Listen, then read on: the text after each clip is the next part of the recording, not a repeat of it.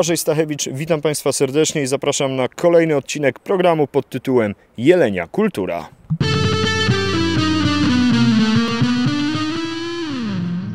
W minionym tygodniu odwiedziliśmy osiedlowy Dom Kultury na Zabobrzu, gdzie rozpoczęło się rowerowe kino letnie, czyli cykl cotygodniowych, piątkowych projekcji związanych z kinem niezależnym. Rowerowe kino letnie to wakacyjna propozycja osiedlowego Domu Kultury na Zabobrzu o 21 w każdy piątek sierpnia na dziedzińcu ośrodka lub przy braku pogody w sali teatralnej będzie można zapoznać się z ciekawym repertuarem filmowym. Zaczynamy pokazem filmów e, z festiwalu Zoom Zbliżenia. To jest pierwsza część, e, ponieważ jeszcze na zakończenie cyklu, na koniec miesiąca będzie kolejna dawka e, filmów z tego festiwalu. Dzisiaj chcę pokazać filmy mm, kobiece. Mm, trudne filmy, ale bardzo dobre. No. Film dokumentalny i dwie fabuły. W kolejnych edycjach zaplanowany mam pokaz e, filmów niezależnych z takiego warszawskiego festiwalu pod tytułem Grand Off. Jest to też festiwal o zasięgu światowym. Mm, będą to filmy e, głównie e, zagraniczne, ale tutaj muszę powiedzieć widzom, żeby się nie obawiali, ponieważ te filmy mam w wersjach e, z polskimi napisami, więc zapraszam, a naprawdę jest to kawał, kawał dobrego kina. Czy nastawiacie się głównie na kino ambitne, kino cięższe, czy można też znaleźć coś takiego typowo wakacyjnego? To znaczy, będę pokazywał też rzeczy troszeczkę lżejsze. Będę pokazywał, myślę, że w tej drugiej części festiwalu Zoom na koniec miesiąca pokażę sporo, sporo animacji po prostu takich lżejszych i bardzo oryginalnych.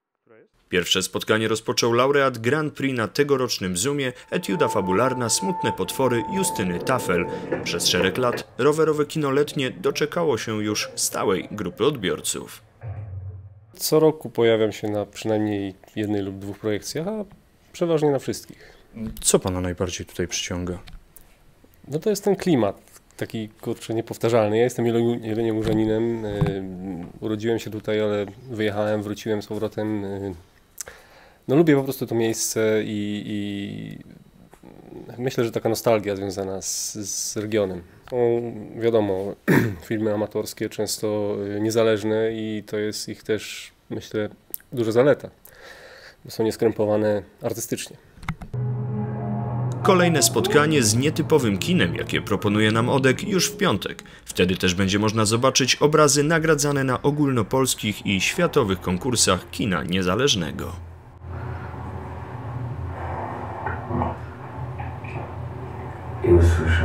Co powstanie, gdy utalentowanym młodym muzykom damy dobrych nauczycieli, dwa tygodnie czasu i nieskrępowaną wolność w tworzeniu utworów. Właśnie taki koncert, jaki odbył się niedawno w Jeleniogórskim Centrum Kultury w ramach tegoroczno polsko-niemieckich warsztatów Beat Akademii.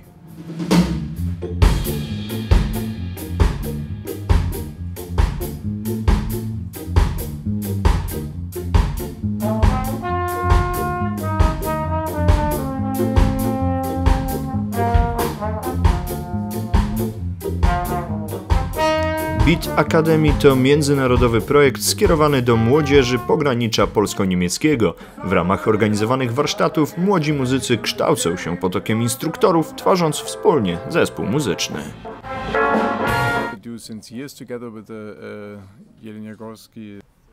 To jeden z projektów tworzonych wraz z Jeleniogórskim Centrum Kultury. Brało w nim udział 25 młodych muzyków z Polski i Niemiec.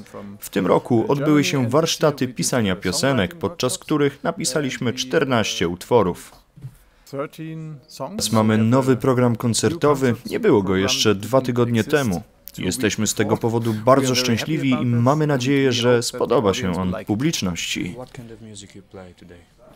Tegoroczny koncert to przede wszystkim reggae i ska, ale także piosenki swingowe i rockowe. To miks muzyczny, ale głównie właściwie reggae. Mamy rozbudowaną sekcję dentą i to ukierunkowało nas na te gatunki.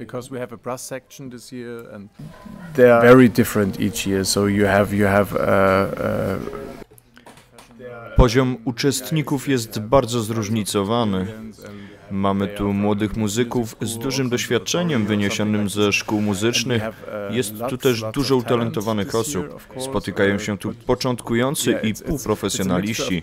Praca jest interesująca, ale niełatwa ze względu na zróżnicowany poziom. Musimy osiągnąć efekt i znaleźć miejsce dla każdego. work with those uh, different levels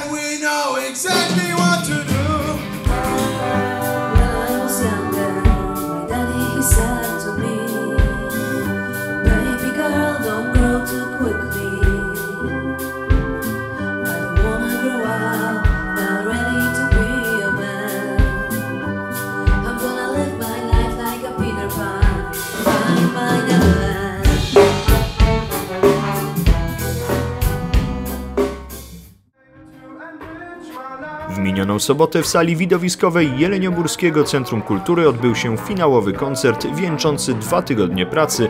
Śpiewano po niemiecku i angielsku, prezentując pokaźny przekrój gatunków muzycznych.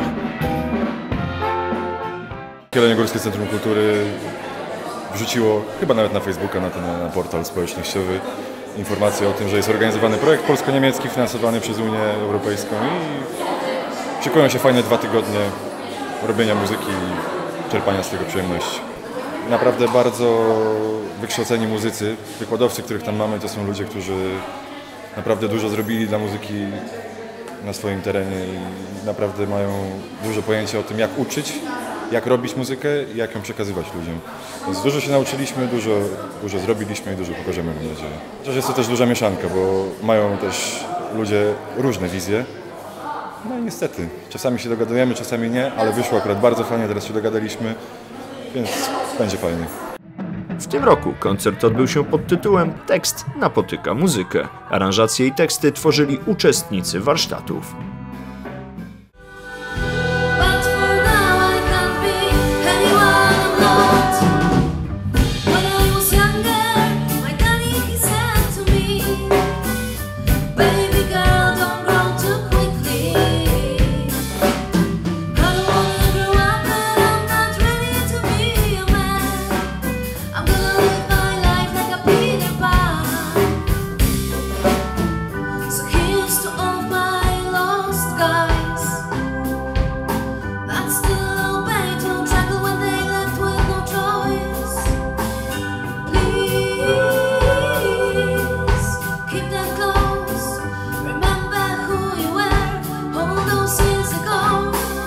Na następny materiał chciałbym szczególnie zaprosić miłośników ostrej muzyki i potężnych motorów, czyli Piknik Harley Davidson w Karpaczu.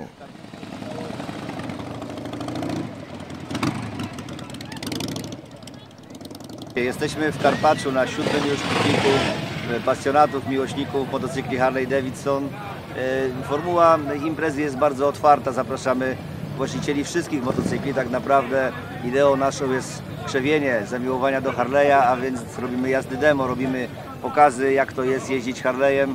E, Tak naprawdę chcemy przekonać innych, którzy jeżdżą Yamahami, e, Kawasaki, żeby zasiedli na Harley'ach, więc e, jest to jeden oczywiście z celów. Tu jest impreza coroczna, bardzo dobra zresztą. Można się dużo nauczyć, dużo zobaczyć, dużo podpatrzeć, bo rodzajów, gatunków motorów jest naprawdę to jest cała masa. Harley daje nam e, oczywiście tą całą oprawę. Har- Harley to historia, Harley to przede wszystkim ludzie. To ludzie tworzą ten klimat i, i pewnie dlatego Harley, oprócz tego jest to wspaniały motocykl, to całkiem inna sprawa. Jak widzicie Państwo, tutaj po mojej prawej stronie odbywają się już trzecie Mistrzostwa Polski w wolnej jeździe. E, W tej chwili właśnie widziałem, wyruszył pan Wiesław Gołębiowski. To człowiek, który trzy lata temu był trzeci, dwa lata temu był drugi i pod wielką presją myślę startuje, bo e, zarzekał się, że dzisiaj będzie pierwszy i zwycięży w tych mistrzostwach. wolność, wiatr we włosach, te imprezy, zloty, ta atmosfera, to jest coś fantastycznego. To jest coś innego niż mieszkając w mieście, jeżdżąc do, jeżdżąc do pracy samochodem czy tramwajem. To jest, to jest inny świat. Spektakl pod tytułem Miedzianka opowiada o losach ginącej górniczej wioski. Powoli schodzi z desek teatru imienia Cypriana Kamila Norwida. W sierpniu zostanie wystawiony pięciokrotnie. Pierwszy raz 16, natomiast ostatni raz 30. Zapraszamy na scenę studyjną teatru imienia Cypriana Kamila Norwida w Jeleniej Górze. Co tak stoisz? Przebieraj się, zasypia. Nie, w to coś nie ma mocy. Jestem miedzianką, miedzianką, tak dobrze? Ta bieda, ta tandeta dookoła, ten brud, ten smród, to życie, ta pogoda, ten socjal i emerytury i to wieczne, pieprzone narzekastwo. Nie możesz się tak poddawać. Wielkimi krokami zbliża się jeden z najważniejszych festiwali, zaznaczany bardzo dokładnie w kalendarzu miłośników poezji śpiewanej. Już niedługo w Karpaczu otworzą się wrota do krainy łagodności, czyli czas na gitarę i piórem. A teraz chciałbym Państwa zaprosić na krótki przegląd wydarzeń kulturalnych, które zbliżają się w najbliższym tygodniu. Już w piątek warto odwiedzić Filharmonię Dolnośląską, gdzie o godzinie 19 rozpocznie się koncert z cyklu Letnia Filharmonia, wakacje z operą i operetką, koncert młodych solistów z Rosji, Estonii, Francji i Polski. Drugie spotkanie w ramach rowerowego kina letniego w osiedlowym Domu Kultury. Tym razem seans najlepszych filmów nagrodzonych na przeglądzie Grand Off 2013. Dziedziniec ODK Zabobrze, godzina 21. Piątek.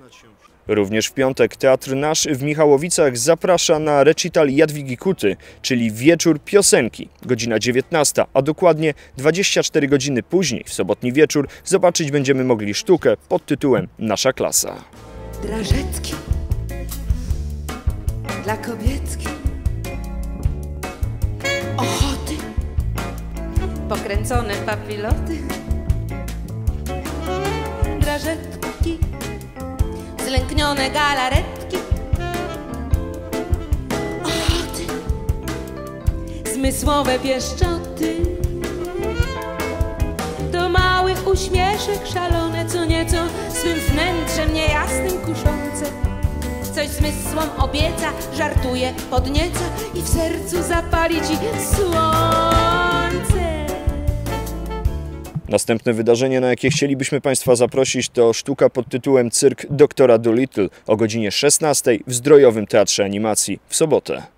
W niedzielę 10 sierpnia o godzinie 16 zapraszamy serdecznie do Parku Zdrojowego, gdzie w ramach koncertów promenadowych będzie można usłyszeć zespół Jelonka Brass Band, czyli kwintet złożony z instrumentów dętych, blaszanych. Tym razem program to Brass for Fun, czyli nie tylko klasyka. Kilka godzin po koncercie promenadowym po drugiej stronie Placu Piastowskiego o godzinie 19.15 tradycyjne niedzielne koncerty organowe w Cieplickim Kościele Zbawiciela wystąpi Marcin Armański. Następne wydarzenie, na jakie chcielibyśmy Państwa zaprosić, odbędzie się w środę 13 sierpnia o godzinie 11. Będzie to Dzień Kalamburów w Bibliotece Dziecięco-Młodzieżowej przy ulicy Bankowej. Wydarzenie odbędzie się w ramach stacji Biblioteka Wakacyjny Czas Dobrej Zabawy. To już wszystko, co przygotowaliśmy dla Państwa w tym tygodniu. Dziękuję serdecznie za uwagę i zapraszam na kolejny odcinek programu pod tytułem Jelenia Kultura.